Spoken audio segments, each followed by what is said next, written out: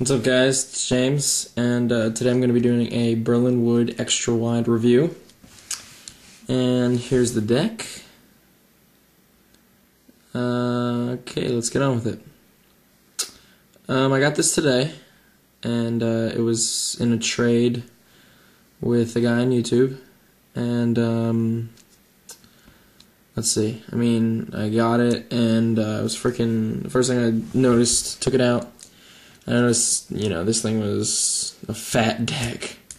Um, I mean, it's Berlinwood, so I don't have to get into, you know, craftsmanship and everything.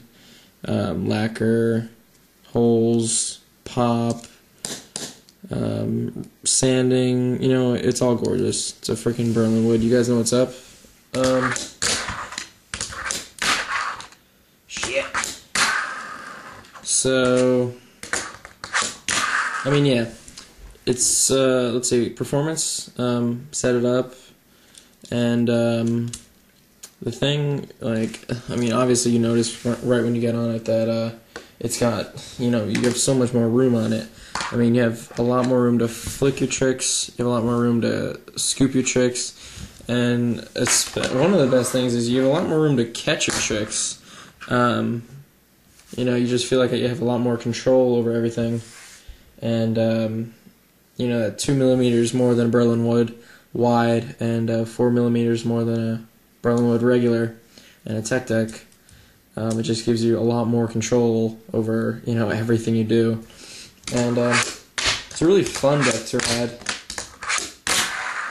So, um, I mean, I definitely suggest getting one.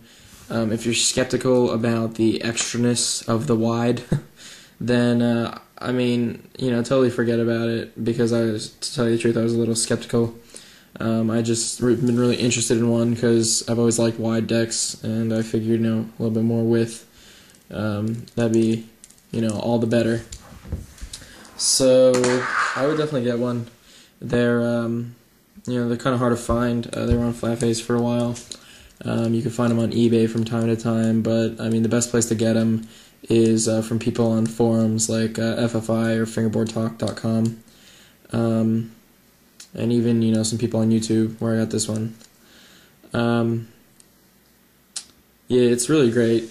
Uh, like I said, you know, catching tricks.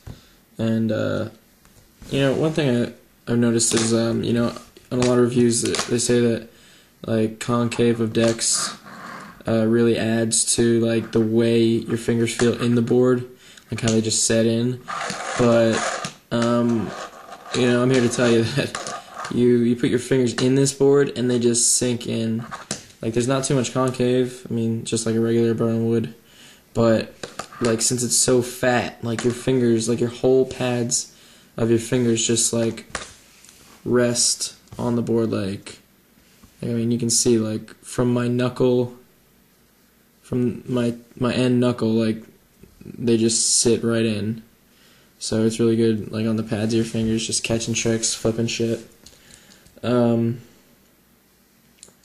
yeah, that's pretty much it. Um, great performance, amazing control,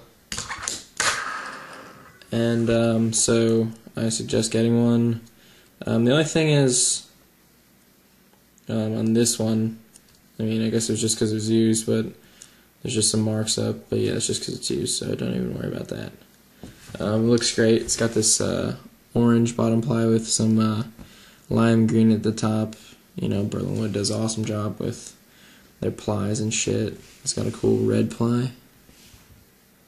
If you can see that. And, um, so yeah, I would definitely get one. Just because, just because, I mean, shit, it's like the best. Okay, it's the best deck I've ever ridden, and uh, I'm definitely gonna use a lot. Check it, check it out in my videos that I'm gonna be posting soon.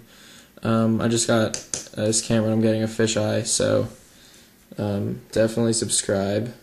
Be interested in your business, and um, check out Everslick Obstacles, which is um, a company that me and my associate run.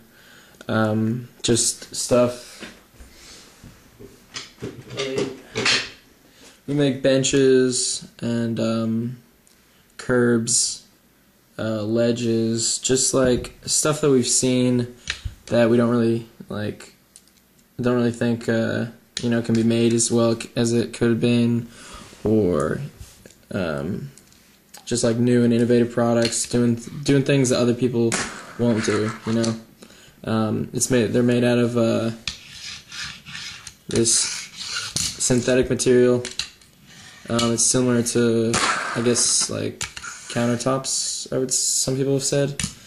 Um, you could check out Paul Sorvik's review, um, Boots Mas- Boots Monster 22. Um, just check out the website. Uh, it'll be in the description. And uh, so yeah, check that out.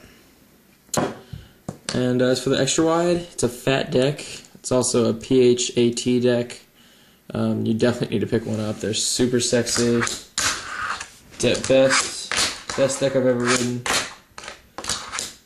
I would definitely get one because you know even though they're a little wide, they are great. And like when you hop back on a different deck, it's like the other ones feel small. But I mean, it's not like it affects your you know performance on other decks. You know, I can still pick up a wide and just bust shit out. Um, so extra wide, wide, just comparison. Great deck. You need to get one. So uh, peace out for now.